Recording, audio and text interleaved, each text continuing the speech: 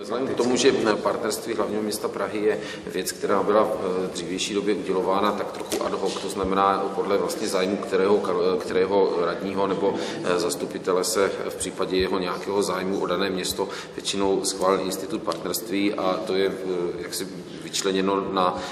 zastupitelstvo hlavního města Prahy. To znamená to, že město s někým má partnerskou smlouvu, je akt zastupitelstva,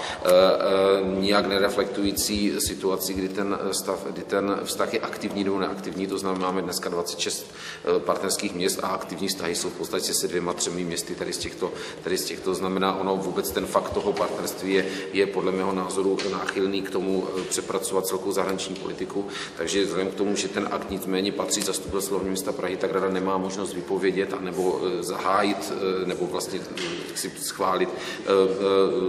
dané město jako partnerské, tak se přistoupilo k institutu pozastavení partnerství, což je vlastně jako politické, vůle, eh, politické gesto eh, úplně shodné s tím politickým gestem toho zastupitelstva, jenom tedy v omezenější míře. Byli proto všichni radní? Ano, jednomyslně.